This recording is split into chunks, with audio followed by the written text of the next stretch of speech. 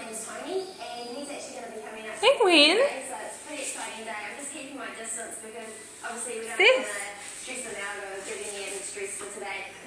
Since his dad died, What's this, Winnie? he's been working with Franklin, and his kids What is it? to be with other baboons. But before Tony says goodbye to Franklin, Vet John Potter needs to do a quick vasectomy so he won't breed with Auckland's females. Mmm, yummy. Chicken, rice, and bicky. Oh my god.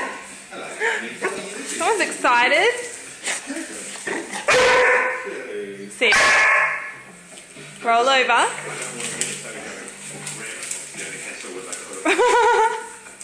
Roll over.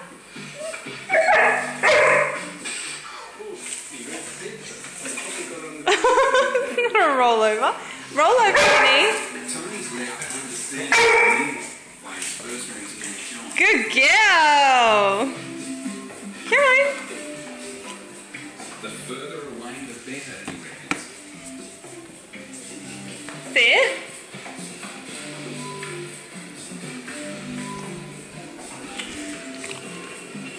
The drug kicks in swiftly. It's better. Better ears. Where are you? So John Sit. needs to be certain he's under. Oh, Winnie. Sit. When the team's sure, he's off to the barn. Sit. Okay, go. Good girl, Win. charging on the ground, so they would be using them to, to get